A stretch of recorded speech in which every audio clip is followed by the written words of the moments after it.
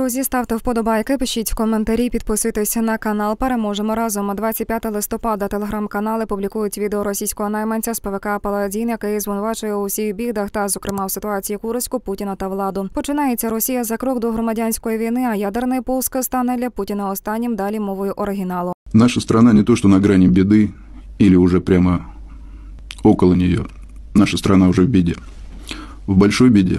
Беспилотники летают по всей центральной части России, вплоть до Москвы и Петербурга.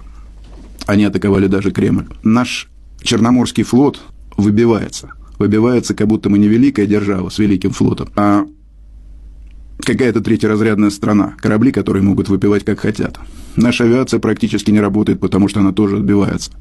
Мы стоим на тех же самых позициях, на которые вышли более двух лет назад, а частично на те, которые мы отступили, уже два с лишним года. Люди, население нас- вымирает, нищает, спивается, всем плевать. Только успевают завозить мигрантов. И все это сделал так называемый президент, великий Путин. Еще обращаюсь к тем, кто находится на линии боестолкновения, на тем, кто в окопах. Вы прекрасно знаете, какое непотребство творится сейчас там. Как в относительно военных действиях непосредственно, с профессиональной и общей точки зрения, так и с точки зрения командования. Вы прекрасно знаете те рожи, которые издеваются над вами и над вашими родственниками. Те гладкие штабные физиономии, которые приезжают на три часа в зону боевых действий, чтобы получить корочки участника боевых действий, которые получают по три ордена мужества, не, участия, не участвуя в боях, а то и теряя подразделения. Награды вообще рассыпают, как фантики, в том числе и самые уважаемые. Ордена, ордена мужества и даже звезды героя. Это недопустимо. Этого не должно быть. Мы призываем всех присоединяться к нашему союзу, чтобы спасти нашу страну. Точка невозврата уже пройдена.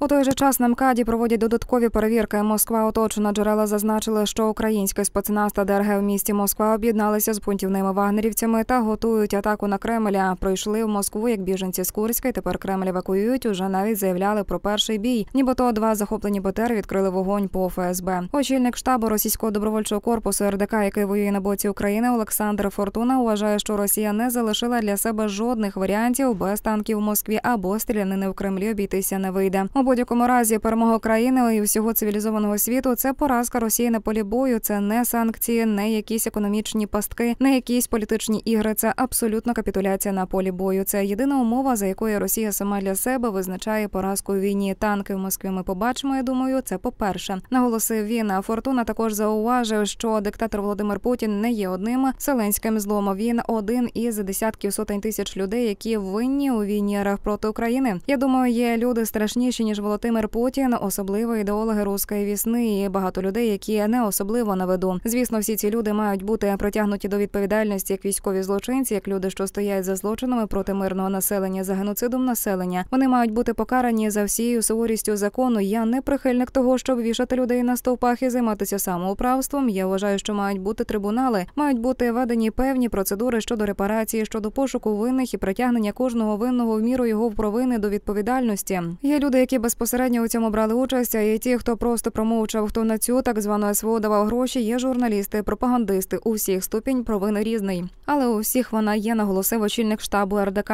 Він також наголосив, що визначити, який вигляд матиме Росія майбутнього, все ж таки буде по перше населення РФ, а по-друге, ті сили, які призведуть до зміни чинного кремлівського режиму воєнним шляхом. На його думку, в Росії буде громадянська війна. Я думаю, що РФ зануриться в безодню громадянської війни. Питання буде тільки з розмаху. Можливо, це буде якась зовсім вже похмура історія. Можливо, просто війна еліта. Я думаю, що найімовірніше це буде просто війна еліт, оскільки саме еліти займаються накопиченням певних ресурсів. Але я думаю, що ще не втратила можливість у населенні Російської Федерації взяти свою долю у руки. Шанс цей із кожною годиною дедалі менше і менше, але тим не менше він поки що залишається. Рано чи пізно у цих людей буде вибір почати щось робити або занурюватися в якесь середньовіччя. Резюмував Олександр Фортуна. Удари по військових об'єктах на території РФ наростатимуть, оскільки у Сил оборони України вже є для цього відповідне озброєння. Про це заявив військовий експерт Владислав Селезньов. Він нагадав, що приблизно два місяці тому безпілотники атакували 67-й арсенал головного ракетно-артилерійського управління Міноборони Російської Федерації. Те, що трапилося один раз, обов'язково буде повторюватися. В принципі, нічого дивного немає. Перший раз на території 67-го складу ГРАУ прилетіли добрі БПЛА, які зруйнували часткову інфраструктуру, але не змогли повністю знищити хоча б частину арсеналів каналів, розташованих на території цього складу. Цього разу прилетіли ракети, сказав експерт. Слизньов звернув увагу, що російські пропагандисти спершу намагалися переконати, що йдеться про українську ракету Нептун. Потім що було, нібито збито ракети Атакамса. А уламки однієї з них упали на території, спричинили пожежу. Судячи з відео, яке розганяється інтернетом про просто пожежу, не йдеться. Вторинну детонацію абсолютно чітко чути, сказав він. Селезньов повідомив, що наразі на озброєнні української армії є певні запаси ракети. Я думаю, що зараз, маючи відповідний досвід, українська армія буде системно та методично знищувати ті самі склади, де зберігаються російські боєприпаси, ракети, снаряди, мінометні міни. І, власне кажучи, чому така особлива увага Курській, Брянській та Білгородській областям? Річ у тім, що з території цих складів здійснюється постачання артилерійського озброєння та боєприпасів для дій російської армії, що діє на території Курської області. Це в принципі абсолютно чітко вкладається у ті самі норми дозволів, які нам визначені американським урядом, адже ми основну частину своїх зусиль у частині використання ракетного озброєння направляємо саме на територію Курської області. Чи буде масштабування цей процес? Подивимося, сказав він. Експерт зазначив, що українська оборонна промисловість також нарощує власне виробництво далекобійних ракет. 100 ракет лише тільки за рік. Це хороший результат. Якщо ми згадаємо назву заяву президента Володимира Зеленського, він каже, що у розробці перебувають щонайменше чотири види ракети, зокрема і балістичних. Тому я думаю, що майбутній 25-й рік принесе чимало неприємних сюрпризів для російських окупантів, сказав Селезньов.